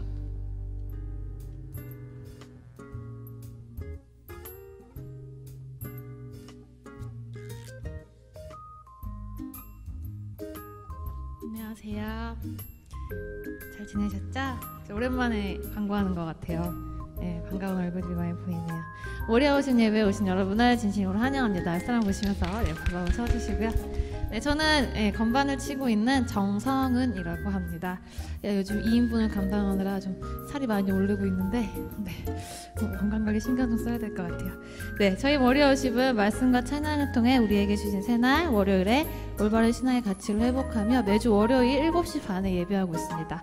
입장은 20분 전부터 가능하니까 그 전에 미리 오시는 분들도 엘리하우스, 엘리마우스의 카페도 이용해 주시고 어, 다가 나누시면서 말씀도 좀 나누시고 일찍 오시면 좋을 것 같아요.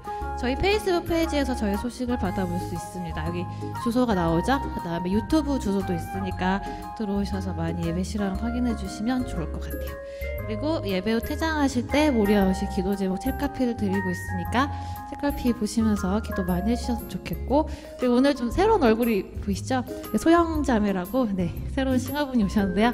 앞으로 이제 반가운 얼굴 많이 이렇게 또 보게 될 건데 인사도 좀 잘 해주시고 잘 적응할 수 있도록 기도해 주셨으면 좋겠습니다.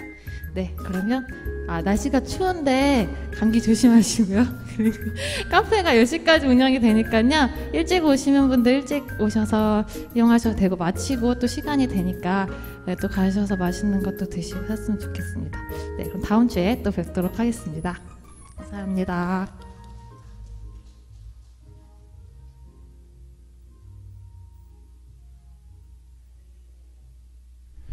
할렐루야.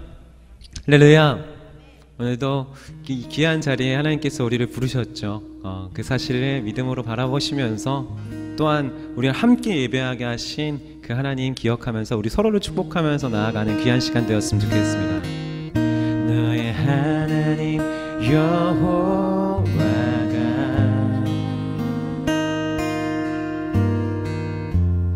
너의 가운데 계시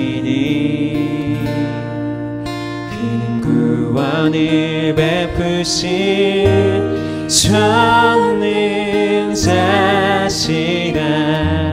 전능자시라 우리 주변을 보시면서 그가 너로 인하여 그가 너로 인하여 기쁨을 이기지 못하시며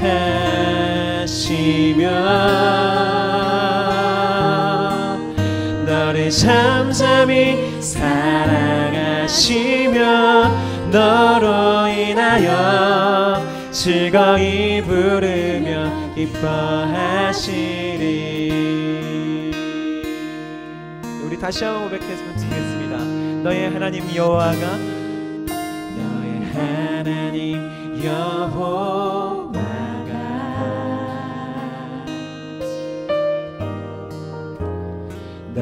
너의 가운데 계시니 그 구원을 베푸신 전능자시라 전능자시라 그가 너로 인하여 그가 너로 인하여 기쁨 못하시며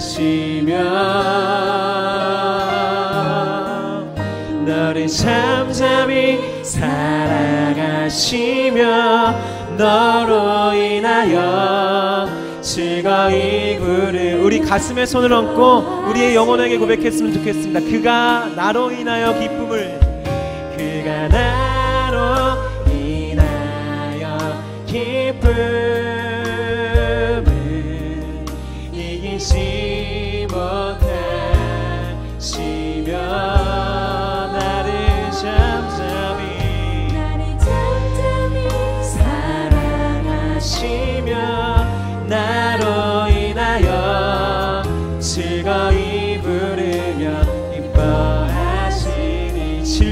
부르며 기뻐하시리. 즐거이 부르며 기뻐하시 즐거이 부르며 기뻐하시리. 즐거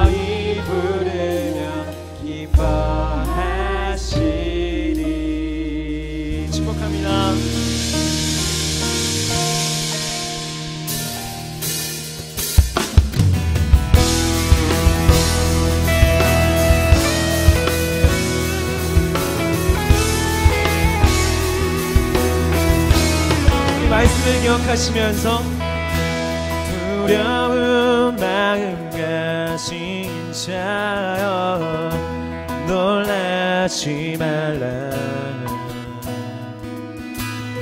주 너의 하나님 강한 손으로 주 이름 부를 때 주님 구하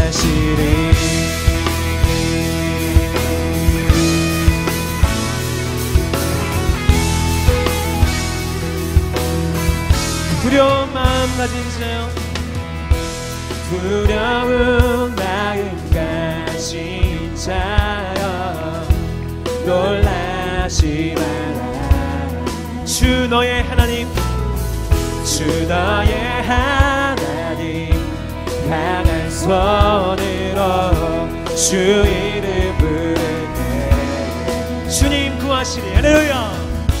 주님 구하시리. 주 오셔서 주 오셔서 구하시리 주 오셔서 구원하시리 약한 자들에게 강한 능력으로 주 오셔서 구원하 주 오셔서 구하시리 주 오셔서 구하시리 주 오셔서 구원하시리 눈을 들어보라. 눈을 들어보라. 회복의 능력을 주 오셔서 구원하시리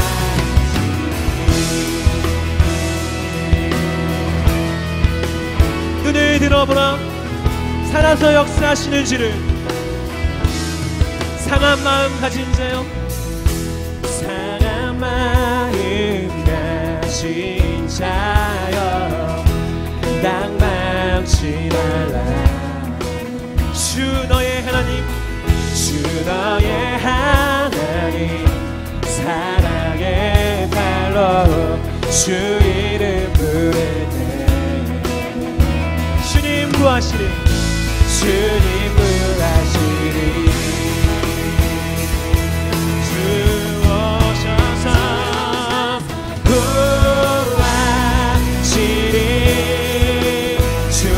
오셔서 구원하시리 약한 자들에게 강한 능력으로 주 오셔서 구원하시리. 주 오셔서 구하시리 주 오셔서 구하시리 주 오셔서 구원하 눈을 들어보라. 할렐루야. 눈을 들어보라. 회복의 능력을 주 오셔서 우리 다시 한번 온 마음 다해 고백합니다. 주 오셔서 주 오셔서 구하시리 주 오셔서 구원하시리. 눈을 들어보라. 눈을 들어보라. 회복의 능 눈을 들어보라. 눈을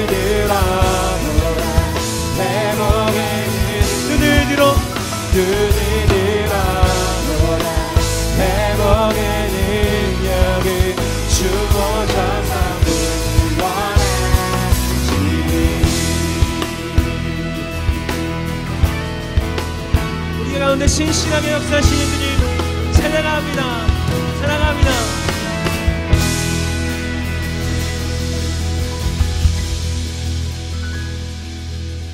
거룩하신 하나님, 언제나 우리를 그 크신 은혜와 능력으로 지키시고 우리가 큰 위험 중에 있을 때에 우리 하나님의 도우심이 언제나 우리를 다시금 새롭게 하심을 기억합니다.